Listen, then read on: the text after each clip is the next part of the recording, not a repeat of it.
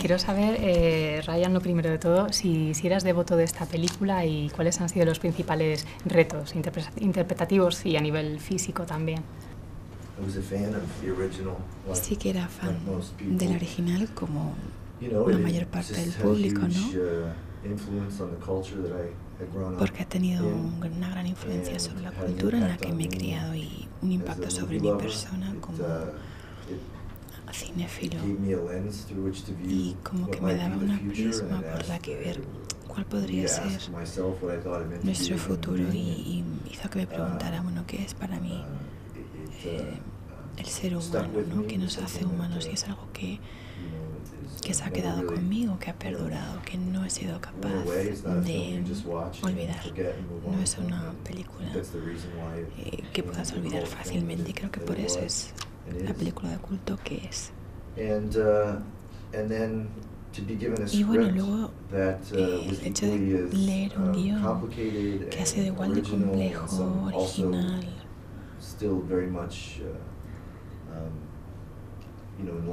y a la vez totalmente acorde, ¿no? una ampliación natural.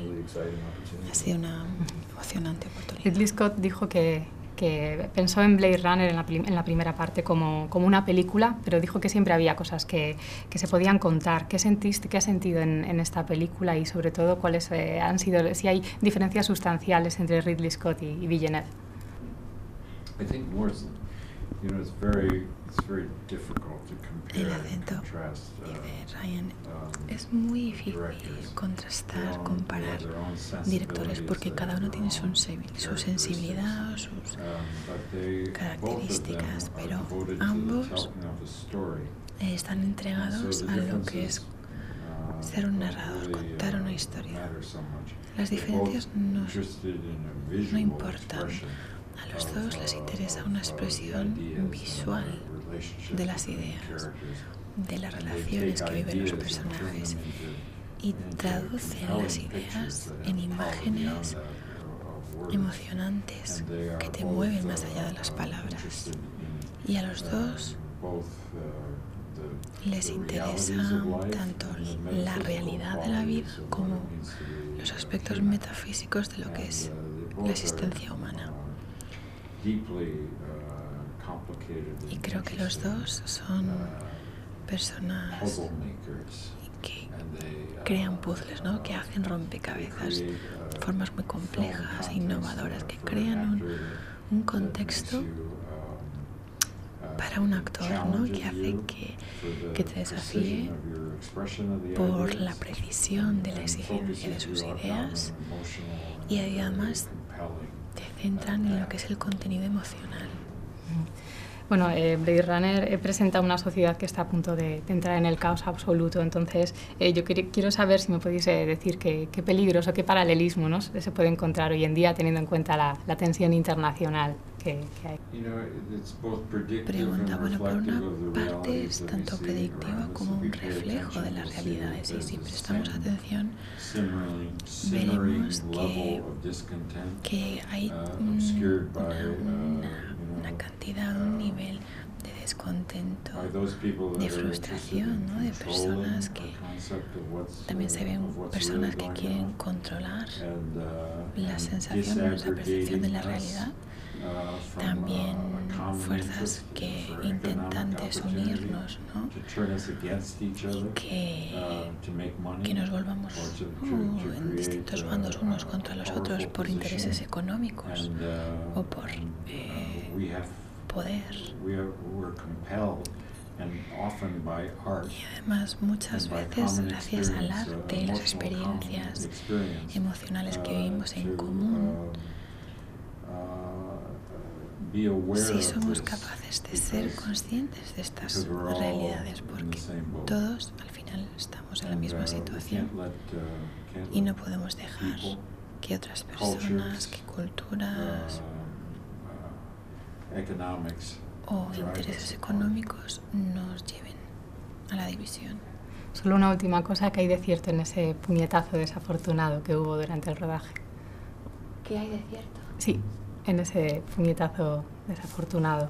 So strong or where hit the target. I'm sorry. I don't remember. No, it's your story. Go ahead. No, como te toca a ti, pues contesta tú. I don't know what you're referring to. No sé a lo que te uh, refieres. I hit him one time. We've buried the hatchet. Eso ya lo hemos superado. Una vez, uh, sí.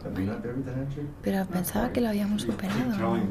No, todavía no. Yo no he sacado el tema, pero yo estoy intentando sepultar este asunto. 100, ¿vale? Lo intenté 100 veces y solo, solo hice contacto una vez. O sea, y no ha sido culpa mía. Eso que quede claro, quede constante. Así que ya está. Thank you. Lo primero, cuéntanos eh, quién es Joy. Joy. Joy va a ser una gran sorpresa en la película. Es un personaje bastante complejo y que mm, tiene una evolución muy bonita, que se le ve aprendiendo y transformándose a lo largo de la película. Es, un es muy importante en la vida de Kay, como ya se puede ver, su amante, y mm, su mejor amiga, la única persona en la que puede confiar y contarle lo que está pasando. Y ella es un poco, está ahí como, quizás para señalar algunos detalles que él está pasando por alto o que no quiere ver. Eh, y es eso, lo, lo, empuja a que, a que encuentre esas respuestas que él necesita saber. Y es una mujer muy fuerte y muy emocional y muy, muy inteligente. ¿Qué dirías de tu compañero de rodaje, Ryan Gosling? ¿Cómo ha sido el trabajo? ¿Qué dirías tú? Ryan es eh, increíble, es una, es, eh, es, es, ha sido maravilloso trabajar con él. Es un actor obviamente talentosísimo y, y por supuesto con mucha experiencia del que aprendes nada más de mirarlo. Eh, es, una, es una persona de la que sobre todo me, me asombró a nivel humano sus, sus valores, ¿no? Es un actor súper profesional, muy buen compañero, que, que, carga no solo el peso de la película, sino el, el peso de, de, ser la persona y la figura en un rodaje al que todo el mundo sigue y, y sabe que tiene que crear esa energía y ese, y ese ambiente agradable en una película, sobre todo de, de tan larga, que requiere de tanto emocionalmente, ¿no? Tan desgastante, de tanta disciplina, de tanto esfuerzo, y él hace que, que sea una experiencia realmente preciosa. O sea, ¿Qué va a suponer esta película en tu carrera en, Hollywood? No sé, no lo sé. Eh, yo no, no, no, no estoy pensando mucho en eso porque realmente no lo sé lo que va a suponer. Yo creo que sí sé lo que me dio que sí sé lo que significó esa experiencia para mí, todo lo que aprendí, la gente con la que tuve la oportunidad de trabajar, eh, todo lo que aprendí de Denise como director, eh, como actriz, cosas técnicas realmente en el rodaje que yo nunca había experimentado, nunca había hecho una película primero de ciencia ficción y de una escala tan grande como esta. Eh, o sea que con eso es lo que me quedo, con lo que me quedo, lo que venga después ya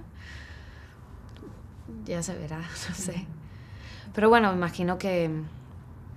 que. Ay, no sé. no sé. ¿Cuáles son tus, tus criterios o, digamos, esas, eh, esas prioridades que tú tienes a la hora de escoger proyectos que te interesa ahora en este momento? Los. Eh, director. El director, yo pienso que, que es lo fundamental ahora mismo para mí.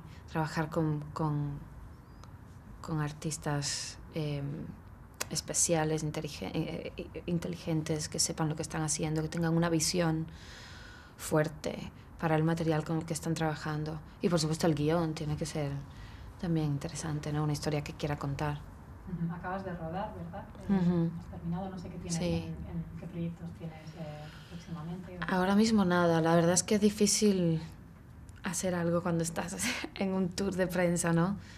Pero pero sí, acabo de terminar hace dos, tres semanas o así de rodar, o sea que ahora nada, está bien esperar un, un tiempo.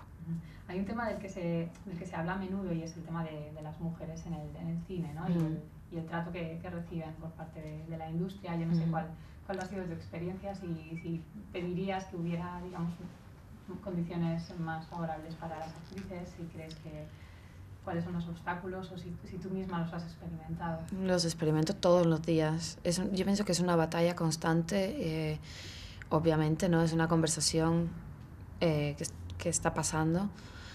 Em, pienso primero que todo, eh, eh, no existen personajes, para empezar, no se escriben, no, em, y los que hay están estereotipados y están dentro de una, dentro de escritos, obviamente viniendo de una mentalidad bastante em, cerrada y a veces ignorante. Con lo cual tenemos que trabajar en eso, en crear material para mujeres diversas, de distintas edades, razas, países, acentos, etc.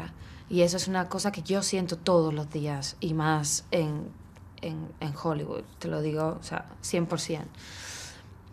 Y ya a partir de ahí, por supuesto, se tiene que hablar de, entonces de las condiciones, de los salarios, del pago, de todo lo demás. Es como una gran escalera que todavía queda por subir.